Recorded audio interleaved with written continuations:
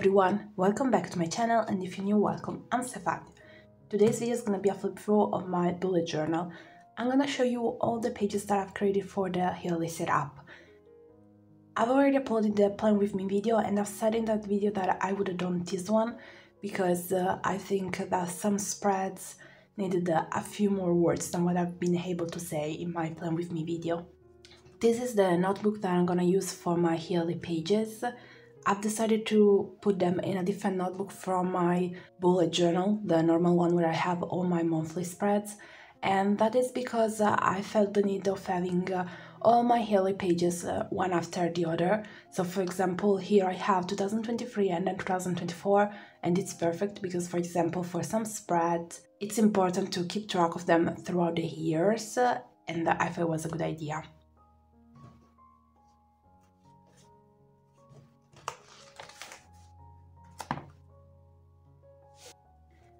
As I said, the plan with me video, it's online, so if you want to go and watch it, you can do it. The first thing, it's of course the cover page, and then I have a little pocket where I can put something inside without having like uh, the need of creating a, a page for something. For example, if I'm gonna need a color code, I can put it here. And to do that, I have this A6 paper I can take one of them, usually I cut away this part here where there are the six holes and then I just create a, something to put in here.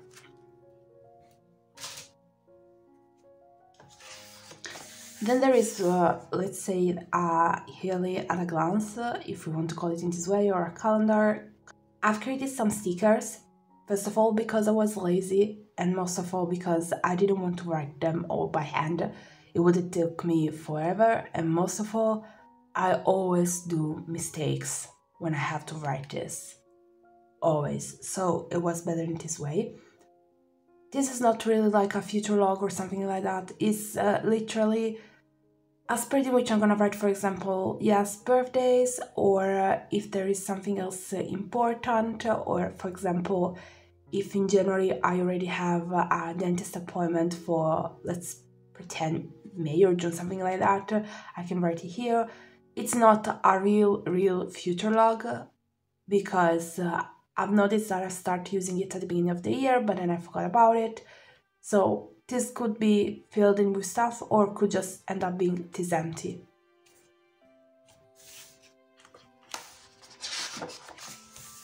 And then there is my I'm a Lady tracker and here is where I keep track of my period. This it's extremely easy to use. If I get my period for example on the 3rd, I'm just gonna color the 3rd of January and so goes on. Next to the I'm a Lady tracker there is the migraine one and for me it's important to have them into pages that are one next to each other so I can see if one of my migraine attack could be connected with my period or not. I've been suffering with migraines since uh, I was a little girl so this is important for me to keep track of. However, this is extremely simple. I'm just gonna color the days in which I have it. And if in one of those days, for example, I'm gonna take a, pill or another, I'm just gonna keep track by writing the, the first letter of it. I'm not gonna keep track of anything else because for my migraines, I have a, a notebook that was given to me by the hospital itself where I have to track many things such as uh, how I'm feeling, the pain level, what could be connected, what I felt before I understood that I was dealing with uh, a migraine attack, what I was feeling after, how long it took uh, for the pill to do their work, a lot of things. But here for me, this is uh, enough. I don't need anything more. And these two spreads are identical, for example, to my workout one. And this is because uh, I've used them like this last year and it was perfectly for me, so I don't see why changing anything. Workout tracker. Here I'm gonna keep track of the days in which I work out by coloring them. And this year, probably the difference from last year in my yearly spread for the workout is gonna be that probably in the days in which uh, I'm actually hitting the gym, I'm just gonna write gym or something like that and nothing more. While my monthly pages. Uh, I have a workout tracker, but in that case, I also keep track of which part of my body I've been training. Here it's extremely simple. If the fifth uh, I work out, I color it. If the sixth I work out at the gym, I color it and I write gym. It's not complicated. Last time I this spread is, for example, important for what I was saying before at the beginning of the video for me to see when it was done the last time also in the previously here because there could be something that I don't do that much. And so maybe the last time I've done this was December 2023 and uh, I need to be able to go back and check it out. And so this was perfect to have it all here on my yearly pages here what I do is simply writing a few things that usually you don't do daily and you don't do let's say constantly. So you only do them once in a while. Mm, it's not like uh, oh I do this thing every three months in the same day. No. And I wanted to keep track uh, of uh, whenever I was doing it. So here are all the things that I've written so far I haven't closed the tracker down here because just in case I will have something more to add, I still have a little bit of space. And here there are the months. For example, there is uh, whenever I'm gonna change the ink for my printer and in this way there are four different uh, voices here because there's one for the black ink, uh, one for the red and blue and yellow, if for example in January I'm gonna change my black ink, I'm just gonna color it and I'm gonna write the date, so just the number. For example, if it's gonna be the 7th, uh, I'm gonna write uh, color the little box and then write 7 in it. In this way, I'm gonna be able to see when I've done it last time. And these things can change, of course, from people to people. For example, if you don't have a car, you for sure will not have cleaning the car. And I have it divided into one for the inside and one from the outside because uh, the car always needs, at least mine, to be cleaned up more in the outside. I do that more than clean the inside. And so these are just uh, a few things uh, that I want to keep track. Then it's time for my Instagram and YouTube tracker and then I also have uh, my TikTok one that was a new entry this year. I've done this last year and I've decided to do it again. This time, however, I've added also TikTok because I've been posting a little bit more there as well. What I'm gonna do here is keep track every single month of how many followers I have at the beginning of the month, at the end, how many photos I've posted and how many reels. And then uh, at the end, uh, I can see a total. So, of course, I'm gonna see how many followers I gained in a year or lost because you can never know how many photos I've posted and reels. The same goes for YouTube. In this case, however, I'm keeping track of subscribers at the beginning and the end of the month the number of videos that I've actually posted and the number of videos that I was planning to post. For example, January is gonna be a full month, like I have so many ideas for January, but I already know I will not be able to post them all in January. So probably the number of videos that I'm gonna actually upload is gonna be lower than the one that I want to do but it's gonna be perfectly fine. Then there's gonna be months in which uh, I, for example, thought, oh, this month I'm gonna only post four videos, and then I cause, end up uh, doing uh, five or six. Uh, so it's not like that important. It's just to have an idea of how things change between what I plan to do and what I've actually done. For TikTok is the number of followers at the beginning and the end of the month, how many TikTok I've posted in that uh, month and how many like I had at the beginning and at the end of the month. TikTok, I do post it there, yes, but I mainly post things in Italian. I mean, I also do, for example, flip through of my reading journal and bullet journal, and they are just with uh, a background music. I'm not speaking, so that for sure doesn't make any difference. But for all the other TikToks in which I'm talking about books, I do that in Italian. So if you want to go and follow me there, just so you know, I talk a lot in Italian. Then I've created another spread with a pocket and this is because this spread is for all the ideas I have for my social media, so Instagram, YouTube and TikTok. I had the plan to do this page, yes, but I was like, how much space I'm gonna need, I don't know. So I've decided to create a little pocket in which uh, I have uh, a page for each single social media. Then I'm gonna be able to add more in case I run out of space here. And basically this is uh, what I'm gonna do here.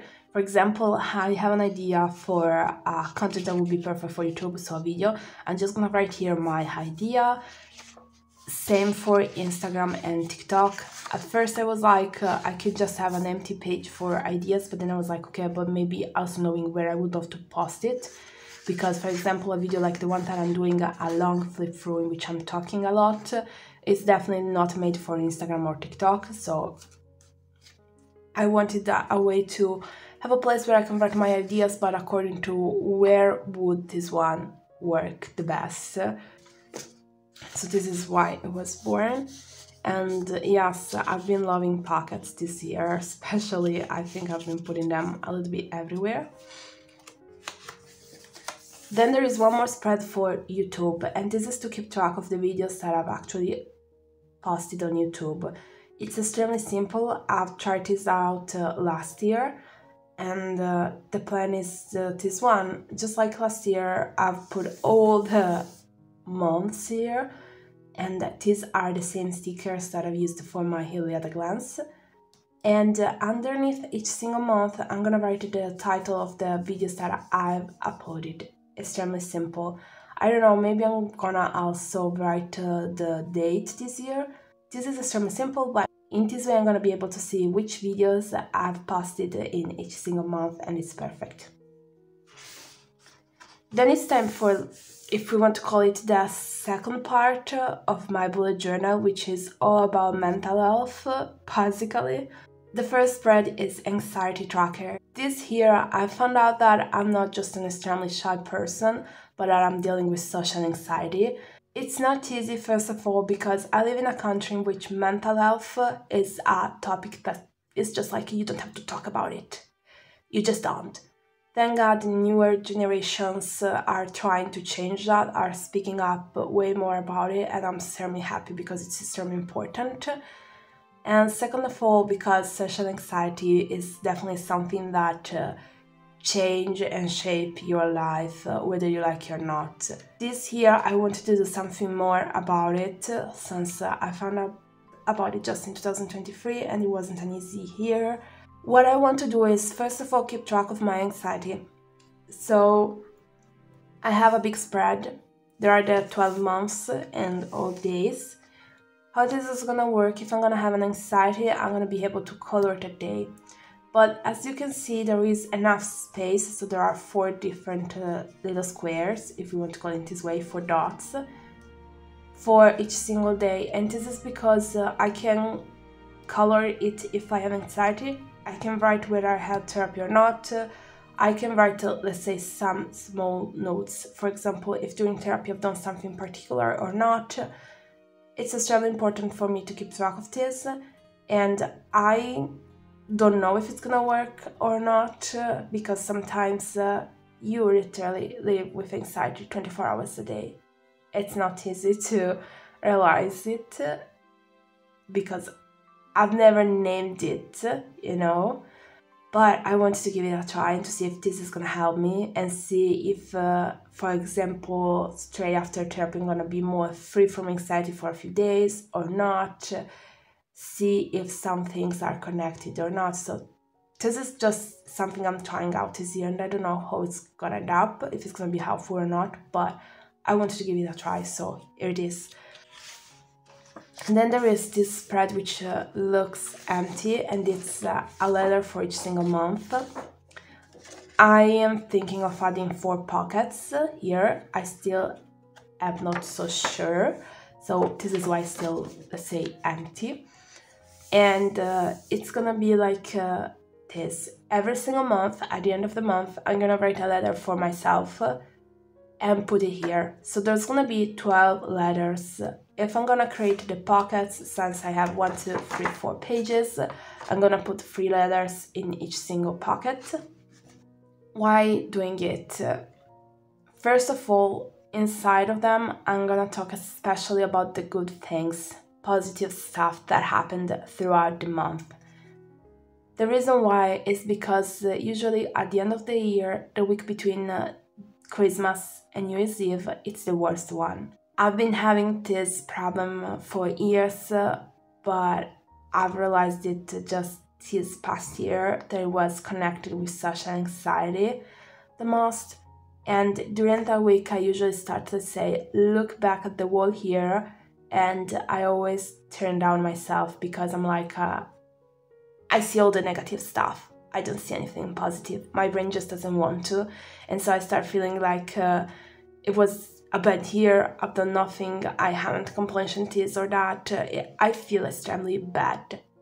And so I thought maybe if during these days I'll be able to look back and take these letters and read them, I'm gonna be like, hey, you know what? My brain is trying to tell me was the worst year. I had only bad experiences and nothing good happened.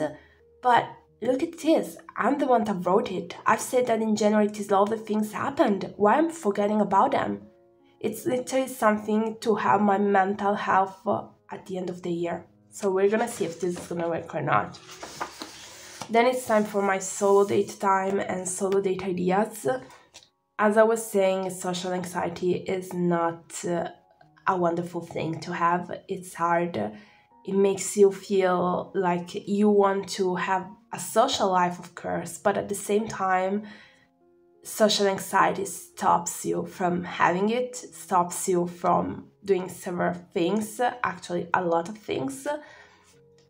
And most of all, you end up realizing that uh, your friendship group isn't that big. You don't have so many friends, and uh, it's easier a lot of time for you to feel lonely and alone. And uh, I thought that, uh, you know what, uh, instead of going crazy and feel bad about that idea of uh, I'll always be alone, I don't know if it makes sense, but anxiety doesn't make you see a good future ahead of you. That's how it works. I was thinking, you know what, uh, it's important to also do something to feel good with yourself. So even if, uh, like, uh, when my brain is gonna be like, you know, you'll end up alone you will have no friends, nothing at all. I will be able to say, you know, maybe that's true, but I'm fine with my own self. I love myself, I'm good with my own self. And so I was like, I have to learn to love myself a little bit more. So the idea is to bring myself out on solo dates or to spend time but it's important for me with my own self. And this is why I was thinking about putting it here. My goal for the year, if you want to call it a goal, is to go on a solo date at least once a month.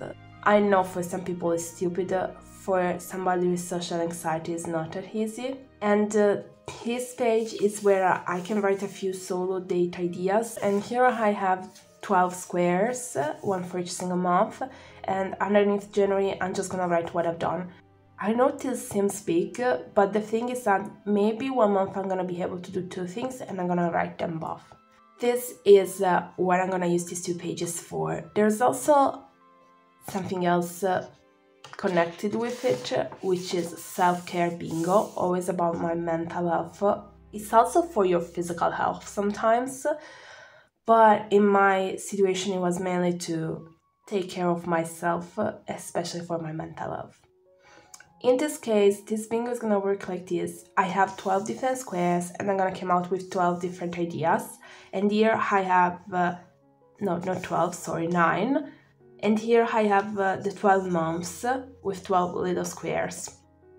What I'm gonna do is, here I'm gonna be able to write all the 9 ideas. And here I'm gonna color each single month uh, with a different color. For example, Self-care bingo. Here there is one thing that could work amazingly. Also has a solo date, something you go do on yourself. You try to be in the present, to relax not overthink. Like you do it also to shut your mind, if it makes sense. Could be, for example, going for something like a, a long face treatment. Could be a cleaning, a long mask, whatever In that case, you're taking care of yourself, of your skin, you're trying to be present. That could work uh, both as a self care bingo, but also as a solo date. It's not like you're gonna do it with friends, it's not like you're gonna do. You could do it also, for example, with uh, getting your nails done. It could be a perfect solo idea if usually you go with somebody else. You could do it once on your own. Self care bingo, I still have to write my ideas here. For example, to connect it with my previously spread, which was uh, going for a walk, a long one, could be also something for self care bingo because, first of all, walking is always good for your mind and body. You're gonna spend time outside in the fresh air, and there's gonna be the sun, all important things for your mind and body. So, I could decide to put it also in my self care bingo. So I'm gonna go right here, go for a long walk or a hike or whatsoever. Let's suppose that I'm gonna do it in January. I'm gonna color one little square underneath it with the color of January. I'm not gonna color or check the wall thing because the, I thought I can use it as a bingo but at the same time as a tracker. So if for example there's gonna be one thing that has seven colors underneath, it means uh, that I've done it for seven months. Then I have my books can help you I'm a big reader, but I don't read a lot of nonfiction. I just don't. But I thought that maybe since uh, last year I was like, I want to read at least one, and I've read two. Wow, what a big thing. Let's move on. The point is that there are a lot of books that can actually help you, whether you're struggling uh, with uh, something about your mental health or other stuff, there are always wonderful books. My plan here is uh, to put the books that I've actually read. You could also use the same spread by putting here some books that you've seen online uh, or you've heard of uh, that you think could help you and just put them here and be like, okay, I have an idea of what I could read. That could work. But then I thought, you know what, I just want to put the ones that I've actually read. And uh, what I'm gonna do is print the cover of the book and put it here, and that's it, it's extremely simple. There are a lot of books which are non-fiction that can help you grow, and uh, this is why I thought it was a nice idea. Again, I don't know how it's gonna work, if it's gonna work or not. Then I have uh, this page, which uh, you basically haven't been seeing me creating in my plan with me video because my phone died, is my goals page, and uh, I've created again two pockets and I've decided to divide my goals according to different, let's say, section of life, if you want to call it this way. Probably section is not the right word, but it's not coming in my mind right now in English, so I'm sorry. These are, for example, I have relationships, physical health, personal growth, mental health, financial, work, and social media. There are some goals which uh, are more, in, let's say, I've tried to put goals which depended on me for example, I see people that when they put themselves a goal for social media, they put, for example, reaching this amount of followers on Instagram. I don't like to do that because uh, that is not something that depends fully on me. Like, uh, first of all, I don't want to. I don't want to only think about numbers, but most of all, I think that uh, in case of social media, for me, it was more important to be. For example, I put uh, posting more on TikTok because uh, last year I was posting a few reviews here and there, but not about all the books. And I was like, you know what, you could do something more, not only posting a few reviews here and there or some small flip through whenever the month is over. You could do something more. Another thing I want to do is definitely be more active on Instagram, but not about posting. I'm talking about talking with others. One important thing that you're gonna see as a big change if you're following me on Instagram is that things are gonna change I've said this that once I'll be done posting uh, everything from 2023 because I'm extremely behind my schedule. I know it. I actually had a few months in which I needed a break. Is actually to stop trying to have the perfect fit. It's out of my mind.